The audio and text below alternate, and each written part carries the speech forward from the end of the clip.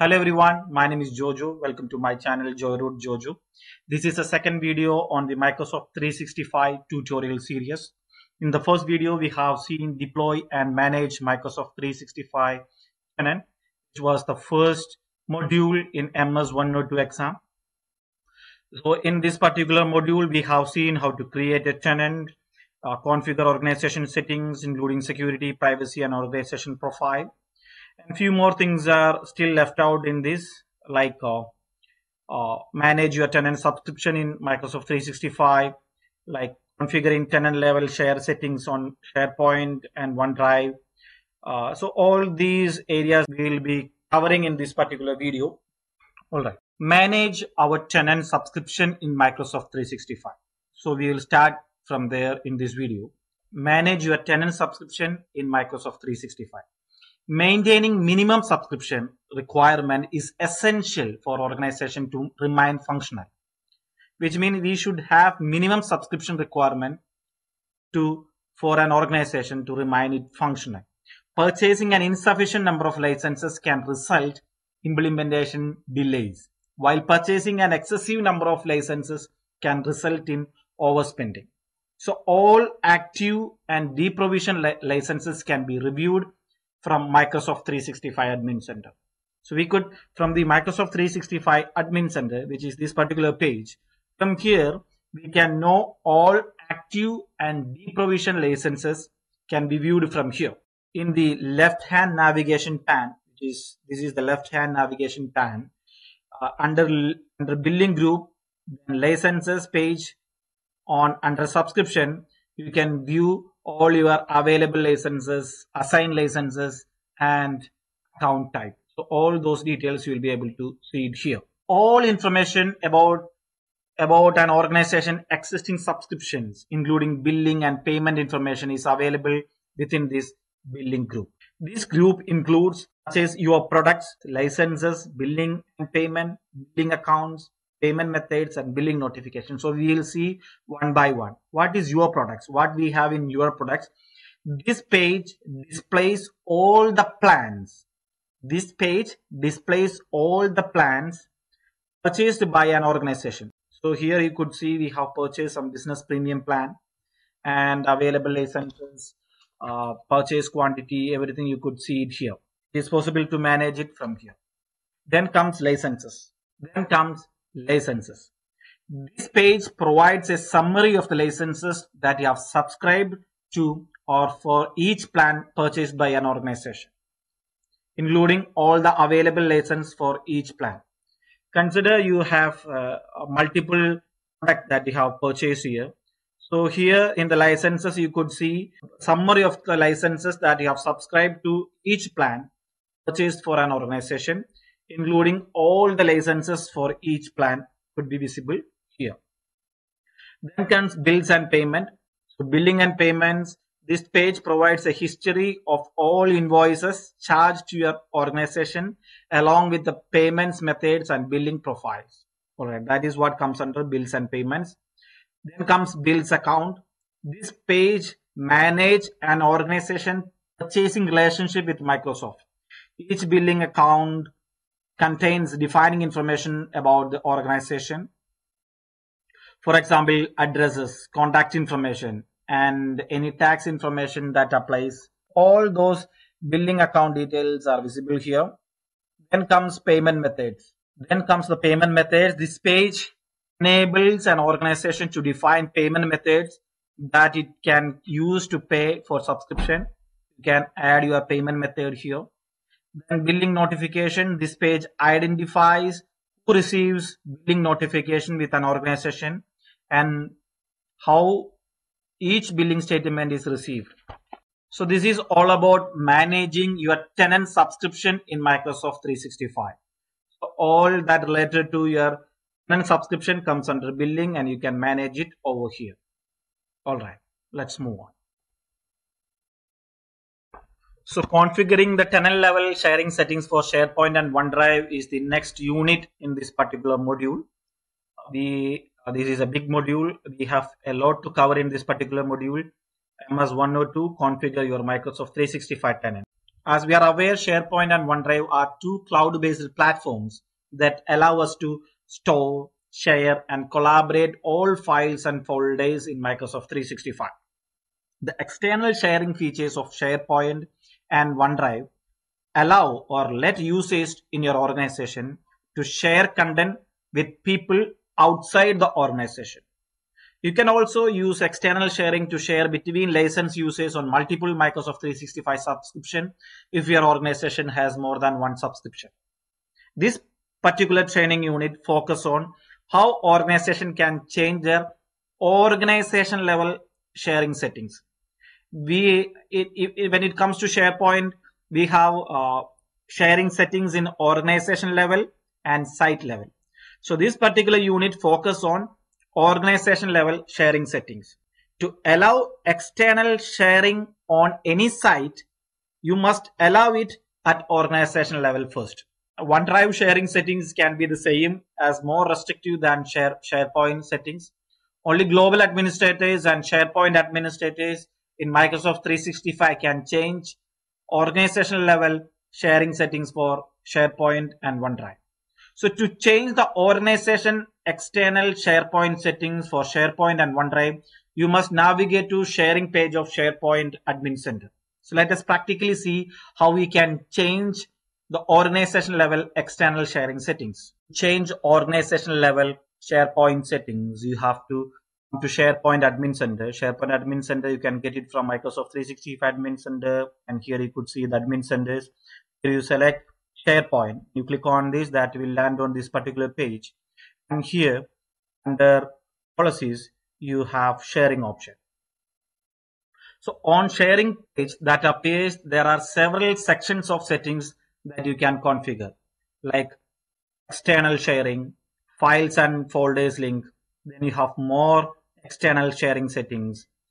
Um, then comes other settings. Here you have, uh, then you have advanced settings for anyone links. So we will check one by one. First one, external sharing. This section of sharing page allow you to configure the overall settings for your organization. So in the external sharing, we have multiple options here. So the first one is anyone. Anyone means allow users to share files and folders by using links. Let anyone who has the link access the files and folders without authenticating. So that is what meant by anyone. Then comes the next one. We select the next one, which is new and existing guest, which means require people who received invitation to sign in their work or school account or Microsoft uh, account or to provide a code to verify their identity. So this is what meant by new or existing guest. Then comes existing guest Allow sharing only with the guests who are already in your directory. These guests might exist in your directory because they previously accepted sharing invitation. Here comes the least primacy one, which is only people in your organization. No external sharing allowed. Completely we are turning off the external sharing. So this is an overall about external sharing. Now comes files and folder links. The next section of sharing page is nothing but file and folder links. So this section of the sharing page allow you to choose the option to show by default when a user create a sharing link. This setting specifies the default for your organization, but you can choose the different default link link type for a site. So we have three different uh, sharing option like for specific people, only people in your organization, anyone with a link. All these three options are there. So we'll specifically see what happens with specific people. So this option, you select this particular option, most this is most restrictive and impedance broad internal sharing. If you allow external sharing, this option let users share with specific people outside the organization. So the next option is nothing but only people in your organization. If the link are forwarded, they work for anyone in the organization. So if you select this one, it works anyone with your organization. This option is best if your organization shares broadly internally and very rarely shares externally. In that situation, you can select only people in your organization. Then comes anyone with the link. This option is available only if your external sharing settings is set to anyone. Forwarded links work internally and externally, but you cannot track who has access shared items or who access shared items. This option is best for friction-free sharing if most files and folders in SharePoint and OneDrive are not sensitive. In such situation, we can select anyone with link. Now come some advanced settings for anyone links. This section of sharing page enable you to select expiration and permission option for anyone links. So we have link expiration. This link expires on this particular date or something you can select it. Then comes link permission. You can restrict anyone link so that they can only provide with few permission for files and folders. So that settings you can do it here. Then the last one is other settings. We have three other settings show owners and name of people who viewed their files in OneDrive. Let site owners choose to display the names of people who viewed file, viewed files and pages in SharePoint use short links or sharing files and folders. So these other settings also you can we have in the sharing page. So in overall we have all the sharing settings for the organization level uh, is done over here. And each settings we have discussed right now. All right let's move on. We are in the first module of ms 102 exam which is configure your microsoft 365 experience in this we have covered all these points and we have discussed configure tenant level sharing settings for SharePoint and OneDrive just now. Now we move to the next point, next unit, which is nothing but configure tenant level settings for Microsoft Teams. So let us discuss uh, channel level settings for Microsoft Teams. Say Microsoft 365 administrator, we can configure various organization level tenant settings for Microsoft Teams. These settings affect how users and guests can access and use Teams features and capabilities. The first settings is nothing but guest access. So guest what guest access will do, it allow you to enable or disable guest access to Teams. Guests are external users who can participate in your team chat, calls, meetings, and channels, but have limited access to other resources. They can only participate in Teams chat, calls, meetings, and channels, but have limited access to other resources. You can also control which domain can have guest access in your organization and which team features are available to guest. So to log into the Teams admin center, I can just practically show you where you can enable guest access. So we are in the Microsoft 365 admin center. If you come come to admin center, you have team admin center here. Click on that. That will lead you microsoft team admin center. Here under the left left blade under users you have guest access. You can enable guest access on or off. So when you turn it on what happens when this is on people in your organization can invite guest users to access teams and channels in your organization. If you turn this off guests cannot sign into your teams using their guest account so that you can uh, enable it here. And we move to the next one team settings. Here under team setting it allow you to customize various various aspects of team such as uh, app setup policies meeting policies messaging policies the live event policies voice settings and device settings. As part of team settings let us discuss some major settings that you can enable it in teams admin center.